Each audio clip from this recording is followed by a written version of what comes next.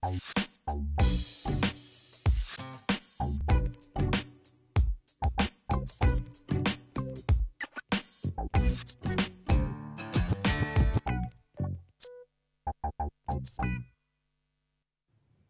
hallo Leute, super, dass ihr nochmal eingeschaltet habt zu Orga TV heute mit äh, super spannenden vier Beiträgen.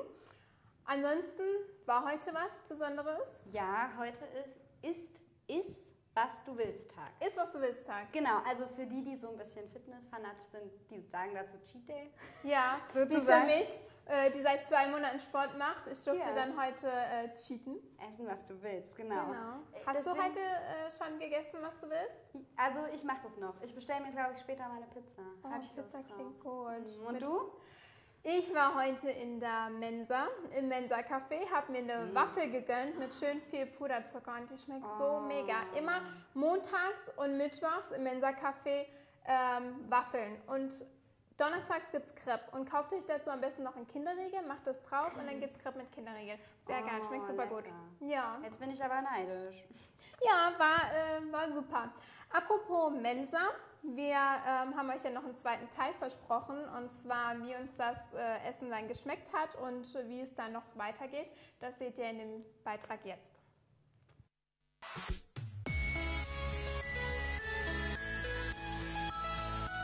Die Vorbereitungen sind abgeschlossen und unser Schupfnudelgericht ist fertig. Nun heißt es auf die Studierenden, Mitarbeiter und Gäste zu warten. In der Zwischenzeit stellt sich Herr Adams vor und erzählt uns einige Besonderheiten über das Mensa-Gebäude.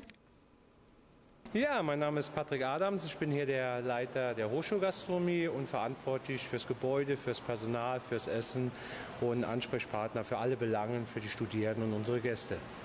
Ich bin jetzt seit einem Jahr hier im Studentenwerk im Saarland tätig, habe eine Küchenmeisterausbildung und mich fortgebildet in der Betriebswirtschaft und als Controller. Ja, ist eine super Herausforderung, jeden Tag für euch natürlich hier ein leckeres und gesundes Essen eben anbieten zu dürfen. Viele wissen das nicht, das Gebäude ist in den 66er Jahren gebaut worden und steht unter Denkmalschutz schon. Also es ist ein relativ junges Gebäude, trotzdem schon den Denkmalschutz eben angetan. Es hat der Architekt Walter Schrempf ähm, konzipiert und gebaut und diese architektonischen Highlights oder Kunstwerke hat ein Bildhauer namens Hayek eben entworfen und als Gesamtkunstwerk hier für diesen Funktionsbau eben kredenzt.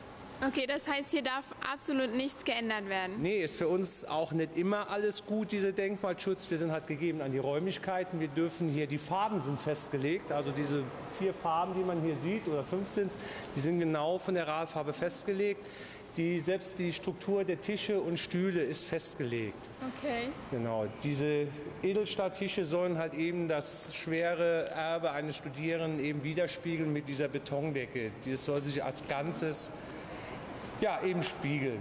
Und es gibt viele Leute, denen gefällt super, andere sagen, ist halt weniger interessant. Ich denke aber, da muss sich jeder selbst das Bild machen. Nur es wird in äh, architektonischen Zeitschriften und, und Newslettern wird dieses Gebäude oft erwähnt und ist schon ein Highlight, vor allen Dingen auch fürs Saarland. Ja. Und wie viele Studenten äh, finden hier Platz? Wie viele passen Also rein? aktuell haben wir 1200 Sitzplätze, heißt, dass wir mittags bis drei bis viermal die Plätze belegen müssen, für alle eben durchzubekommen. Eine weitere Besonderheit für dieses äh, Gebäude ist, dass es als Miniatur im Museum of Art in New York eben abgebildet ist. Und das ist schon ein Highlight, wenn ein Gebäude dort eben steht, auch wenn es nur eine Miniatur ist. Punkt halb zwölf kommen die ersten Gäste. Und für uns heißt es, wir dürfen unsere Schupfnudeln probieren. Rising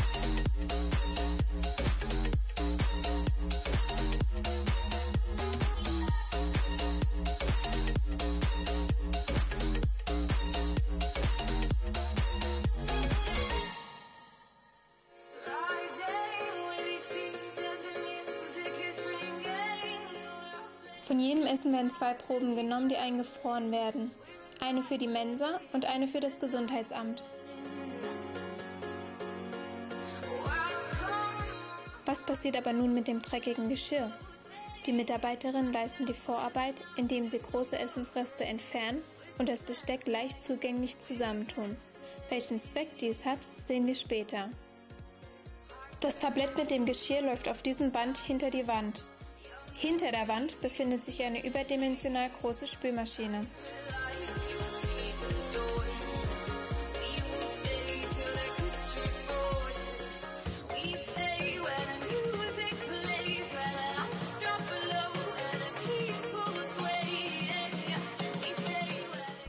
Nachdem das Tablett in die Maschine gefahren wurde, wird das Besteck von einem großen Magneten angezogen und zur Reinigung weitergebracht.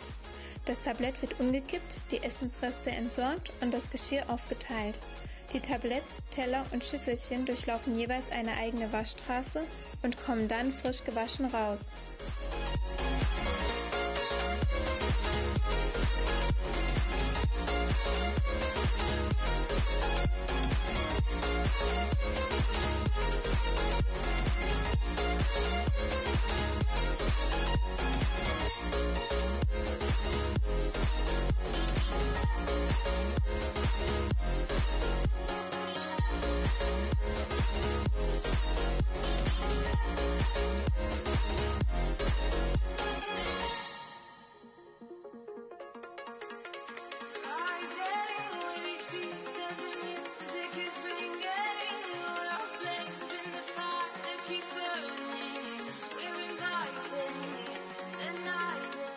Aber was passiert nun mit den übrig gebliebenen Essensresten? Hier drin sammeln wir die ganzen Essenreste.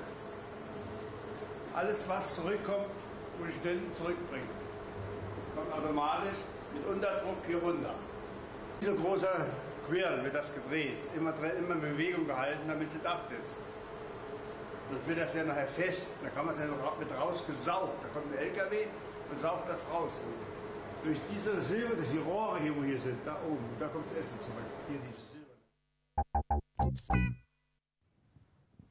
So, wie im Video gesehen ist heute der Herr Adams bei uns zu Besuch. Vielen Dank, dass Sie gekommen sind Gerne, gerne. und sich unseren Fragen stellen. Gerne. Ähm, Würde ich sagen, legen wir direkt mal los, weil Jawohl. im Mensa-Beitrag war ja schon ziemlich viel Informatives auch. Man hat äh, viel erfahren, wie es hinter den Kulissen aussieht.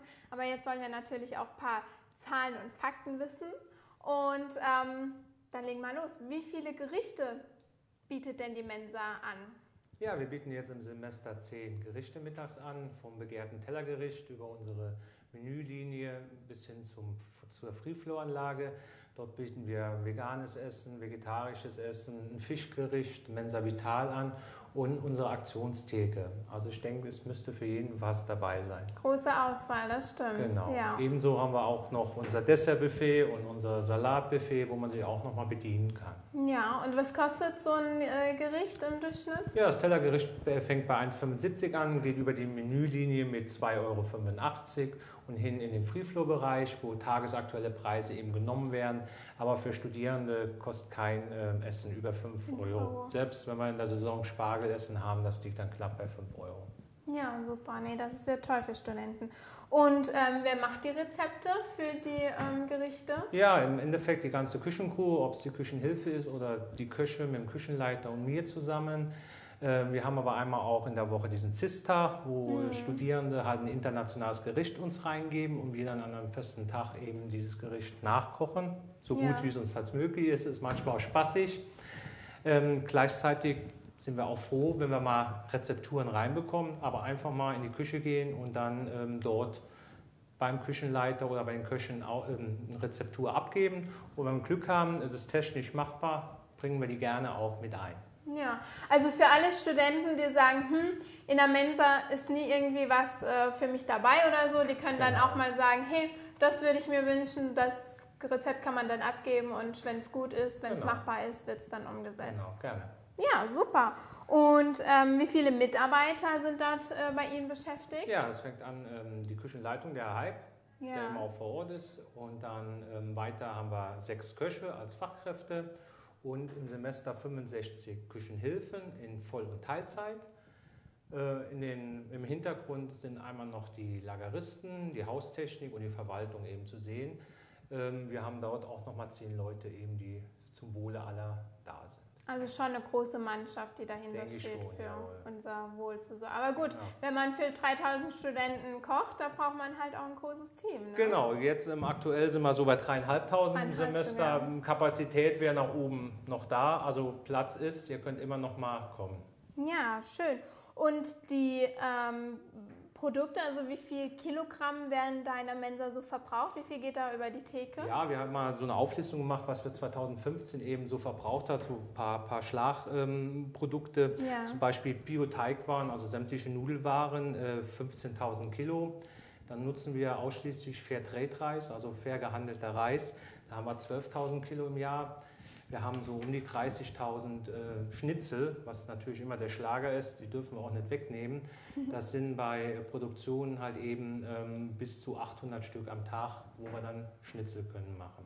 Das ist jede Menge. Genau. Und ähm, ich höre da jetzt raus, viel Bio. Ne? Also die Mensa macht ja viel äh, frisch auch. Das haben wir ja beim Dreh auch gesehen. Also da wird keine Dose benutzt oder sonst irgendwie. Es ist alles frisch. Ne? Ja, wir versuchen, soweit wie es wirtschaftlich auch möglich ist, eben frische Produkte einzusetzen. Das klappt äh, nicht zu 100 Prozent, das wäre gelogen, aber wir verwenden fast ausschließlich MSC-zertifizierten Fisch, äh, Bio-Reis beziehungsweise Fairtrade-Reis, Bio-Nudeln. Wir dürfen es halt eben nicht bewerben, weil wir nicht zertifiziert sind. Diese Ah, okay. Zertifikation würde sehr viel kosten und wir haben eben die räumliche Möglichkeit nicht, dies zu tun, aber trotzdem verwenden wir es eben. Und die Fleischprodukte kommen fast ausschließlich von regionalen Zulieferern hier aus dem Saarbrücker Raum, genauso Obst und Gemüse. Klar, im Winter gehen wir auf, auf ähm, TK-Ware teilweise über, weil wir dann keine frische bekommen, aber TK heißt ja auch nicht unfrisch. Genau, ja. Und wie gesagt, solange die anderen Produkte, das ja, haben wir ja gesehen. Alles Genau. super. Nee, wirklich schön. Selbst, selbst, selbst Kartoffelpüree machen wir fast ausschließlich selber. Da kommt manchmal so der Wink, oh, da sind ja Stückchen drin. Das sind bei uns halt Kartoffeln, weil die reingehören. Ja, aber besser so wie äh, aus einem Päckchen Kartoffelpüree. Das hat ja dann so nochmal einen eigenen Charme. Ne? So eine Würze schmeckt ja viel besser als dieses künstliche aus dem Päckchen. Also ich finde es super, dass ihr das selber macht. Und ähm, jetzt zu den Gerichten, was für Aktionen bietet die Mensa da an? Gibt es da irgendwie spezielle Menüs oder?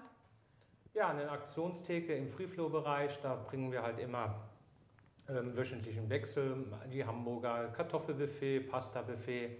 Des Weiteren bieten wir einmal im Monat eine Themenwoche an, aktuell die Bali-Woche, die wird auch sehr gut besucht. Ähm, für die EM haben wir natürlich auch was geplant. Wir ähm, werden da jeden Tag ähm, eine, also eine Mannschaft, die teilnimmt, eben Essen aus diesem Land zubereiten. Und ganz speziell nächste Woche, vom 17. bis zum 20. Mai, kommt Campus Cooking zu uns. Und ähm, dort wird der Stefan Wir- Wirz, ein Fernsehkoch, mit einem Foodtruck kommen und vor der Mensa tagtäglich ein frisches Gericht eben unseren Gästen Wow. anbieten. Äh, ist eine Promotion-Tour eben, es wird äh, kostengünstige Getränke geben, es werden selbstgemachte Limonaden angeboten und eben Streetfood aus dem Foodtruck. Da lade ich recht herzlich alle ein, kommt vorbei, nutzt die Chance auch mal von so einem Herrn eben bekocht zu werden. Ja, um wie viel Uhr ist das? Wann kann man ähm, sich dort Essen holen? Ja, das läuft die ganze Mittagszeit ganz normal von 11.30 Uhr eben bis 14.30 Uhr. Super, schön. Da freuen wir uns natürlich riesig drauf auf den äh, Food Truck. Da werden wir am Dienstag auch hingehen und ähm, was dazu filmen und versuchen, äh, dort auch ein bisschen hinter die Kulissen zu blicken und wie das Ganze aussieht mit dem Food Truck. Wir freuen uns mega drauf. Das, ist, äh, das wird ein spannender Beitrag. Dann würde ich sagen, bedanke ich mich ganz herzlich, Ja, Herr. Adams, dass Sie gekommen sind. Gerne. Und ähm, wir hatten viel Spaß mit Ihnen in der Mensa. Vielen Dank, dass Sie uns äh, haben drehen lassen und dass wir Ja. Sie begleiten durften. Immer wieder gerne. Schön. Und wir haben natürlich auch Studenten gefragt, geht ihr in die Mensa und wie findet ihr die Mensa? Und den Beitrag, den seht ihr jetzt.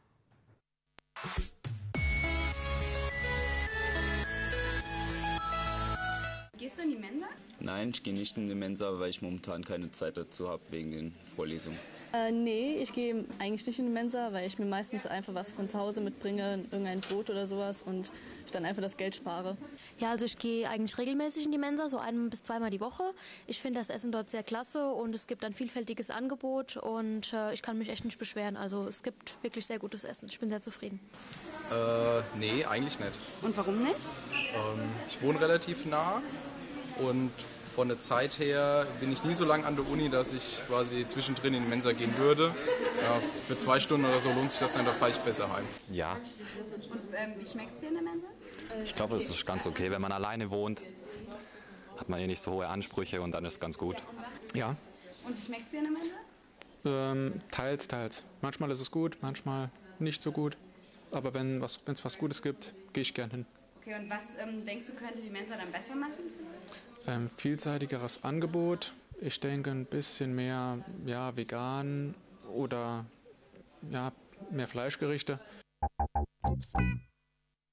Das haben die Studenten äh, dazu gesagt. Und du, gehst du in die Mensa? Ähm, ich gehe tatsächlich nicht so oft in die Mensa. Das liegt Oh. aber einfach daran, weil ich immer Vorlesungen zu der Zeit habe oder eben gerade mir dann keine Vorlesung habe und dann eben noch nicht da bin oder schon wieder weg bin. Das ist natürlich ein bisschen blöd. Aber ich, ich war ein, zwei Mal, da hat es mir immer super geschmeckt. Vor allem der Kaiserschmarrn schmeckt. Mm, ja, ist Und du, wie gehst, gehst du auf? Ich gehe regelmäßig. Also ich bin ein Riesenfan von der, Men von der Mensa. Ich finde es super lecker dort. Es, die, das Personal ist ähm, sehr freundlich. Apropos Personal, da war doch letzte Woche was. Du hast uns einen Beitrag über DHC versprochen. Richtig, genau. Also, wir hatten ja gesagt, ähm, wir untersuchen für euch Unternehmen und gucken, was sie für Studenten anbieten. Und ähm, da waren wir letzte Woche für euch in der Stadt ähm, bei dem Consulting-Unternehmen DHC unterwegs und haben dort mit dem Personalchef ähm, Stefan Müller ein Interview geführt. Und den Beitrag dazu, den zeigen wir euch jetzt.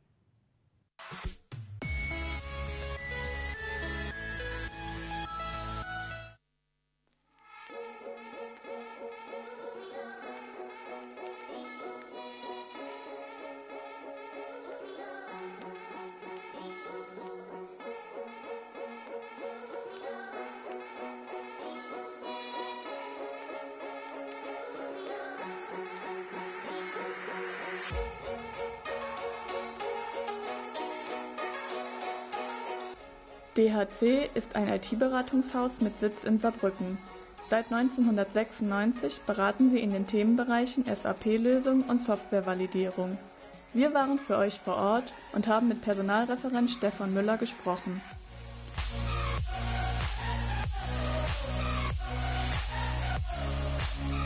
Okay, und wie ist das, wenn jetzt äh, meine Bewerbung bei Ihnen eingeht? Durch wie viele Hände wandert sie denn, bis sie dann beim Richtigen ankommt? Also alle Bewerbungen gehen bei mir ein. Ähm, Ich bespreche die einmal wöchentlich mit der Geschäftsführung.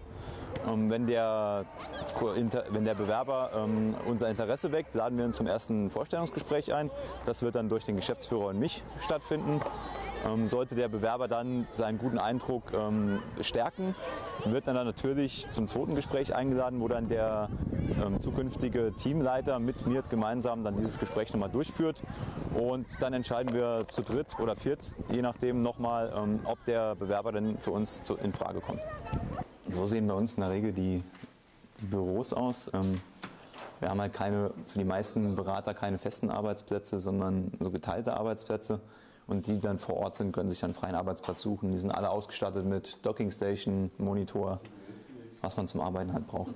Okay, und ähm, wie lange dauert es, bis äh, der Bewerber ein erstes Feedback bekommt? Die Eingangsbestätigung bekommt er relativ direkt.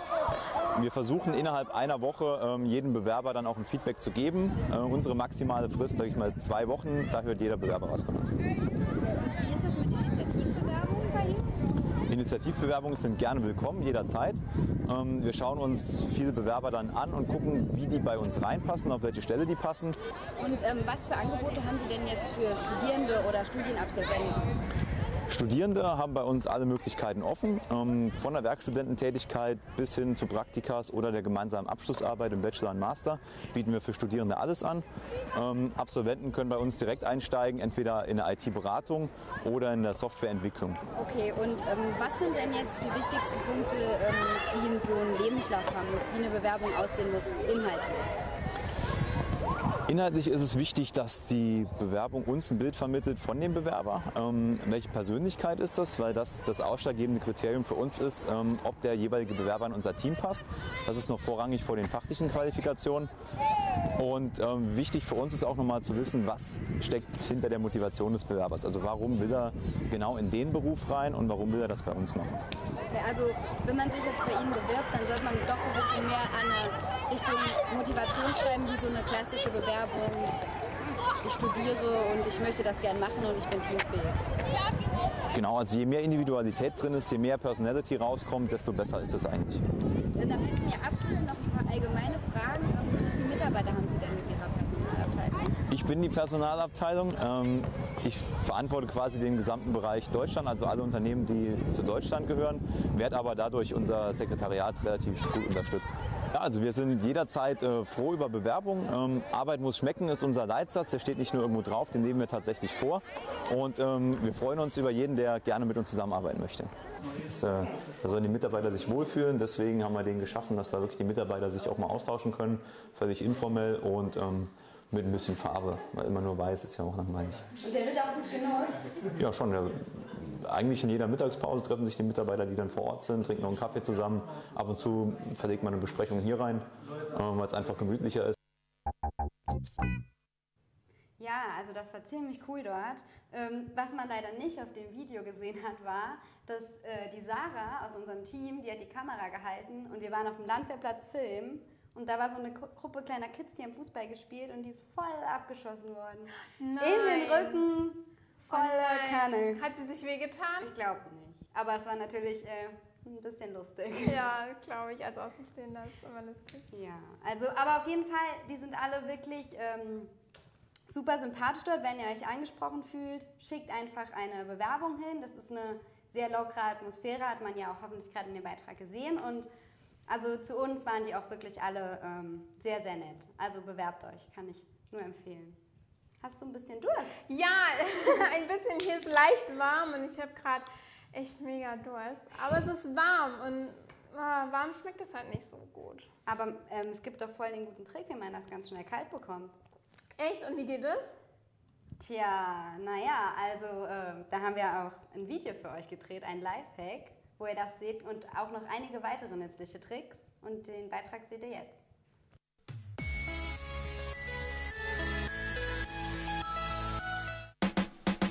Hallo AGTV-Zuschauer, willkommen zu unserer Lifehack-Abteilung.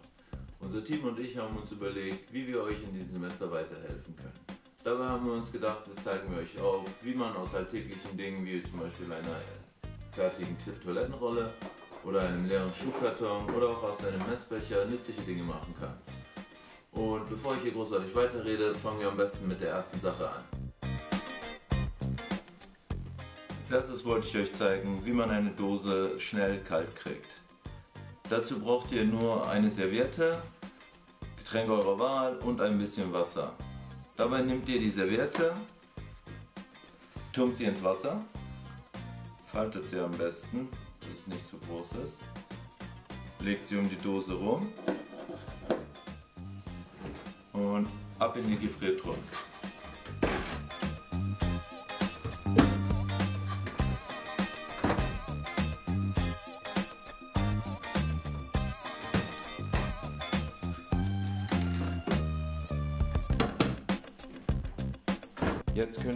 Eiskaltes Getränk genießen.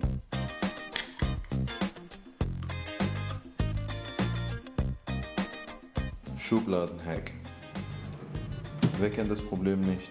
Man will ein Pulli oder ein T-Shirt von unten rausziehen und schon ist alles verunstaltet. Hier zeige ich euch, wie ihr eure T-Shirts und Pullis am besten faltet und einsortiert.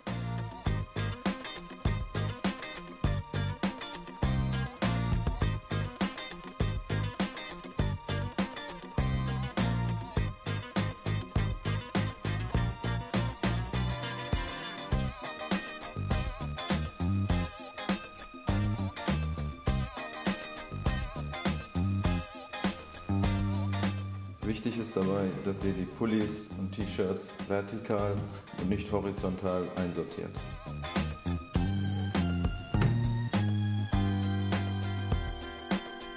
Für unseren nächsten Lifehack braucht ihr nur einen Schuhkarton, eine fertige Toilettenrolle und ein Stück Karton.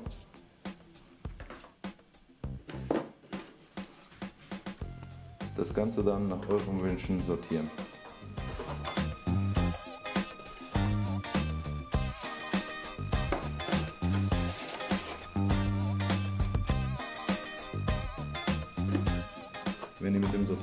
Seid, könnt ihr eure Stifte und weiteres einräumen.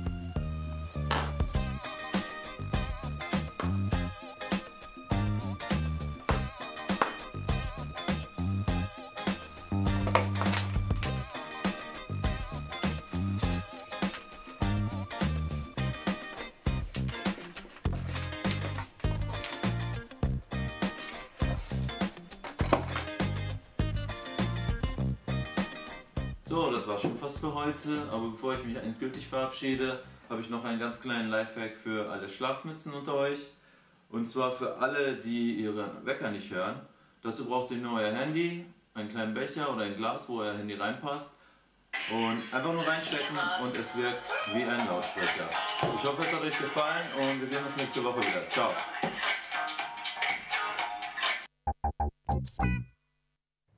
So, wir hoffen, ihr konntet mit den Lifehacks was anfangen und ähm, es waren nützliche Tricks dabei. Jetzt habe ich noch was und zwar die spanische Theatergruppe Los Mutantes führt das Theaterstück Me has pensado auf. Auf Deutsch hast du an mich gedacht. Ähm, in dem Theaterstück geht es um schwierige Entscheidungen, verlorene Wetten, verblassten Ruhm und die Kunst, einfach mal zufrieden zu sein.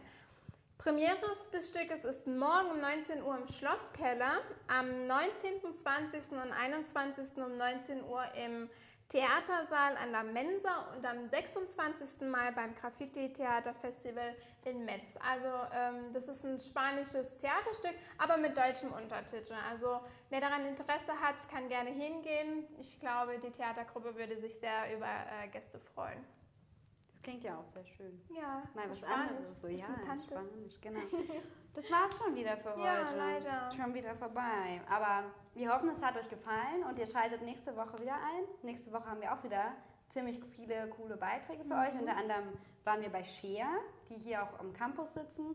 Wie einige vielleicht wissen, das ist der riesenrote Bau, der eigentlich nicht zu übersehen ist. Ja. Und dann haben wir auch wieder ein paar Lifehacks für euch. Also ihr könnt auf jeden Fall gespannt sein. Und wir wünschen euch dann auf jeden Fall eine schöne Woche. Und hoffentlich schaltet ihr auch nächste Woche wieder ein. Und außerdem, das ist natürlich wichtig, Ja. von der Mensa wünschen wir uns Mehr ja, vegan oder ja, mehr Fleischgerichte.